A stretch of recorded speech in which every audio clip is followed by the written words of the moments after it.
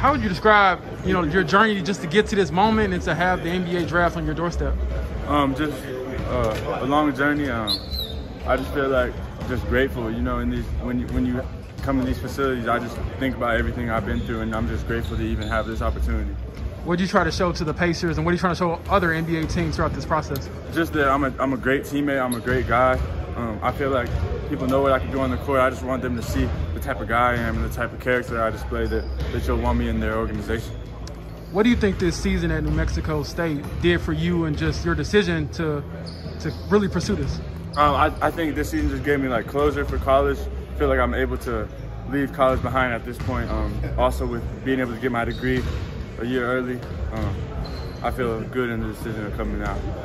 What was the the tournament like and, and, kind of becoming, you know, like that overnight star that people dream of? Um, you know, it's just, I mean, I, I know what I can do on the court, like I said, so it's just, it's always great to get recognition, but I just love basketball, so just being able to get a chance to play at the highest level, that's all I was thinking about.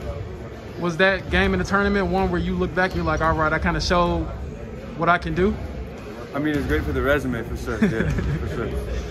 And then, uh, what would like 10 year old you say about where you are now? Like, when did you know, like, was it always a lifelong dream or did it become something later in life? No, it always was. I mean, I used to pretend to be, you know, Kobe, Deron Williams, LeBron out there in the, in the uh, driveway, you know. So just to see me now, I would just, it's just, it's a dream to see yourself become what you always wanted to be.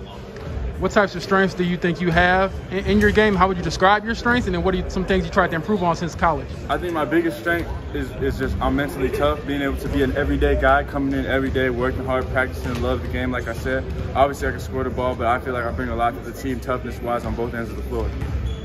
So do I see birthday tomorrow?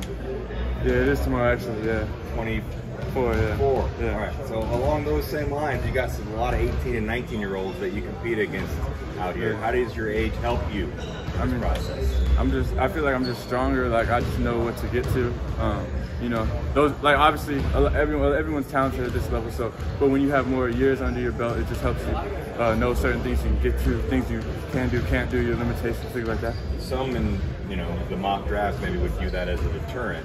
What do you say about to those people? I mean, I don't think it's a deterrent. I'm ready. I'm seasoned and ready to come in and help a team in any capacity, whether that's bench role, uh, rotation player, whatever it is, starter, whatever it is. Uh, I'm ready to do that. Last one from me. I see you got a lot of tats. Is there like a favorite that you have? Oh yeah, probably my mom. She right here. Yeah, she passed away, so gotcha. always got a. That's my favorite one. Got you. What does she mean to you and just this journey that you're on? Everything, man. Uh, I promised her before she she died. I promised her I'd get to the league, so I'm trying to do it.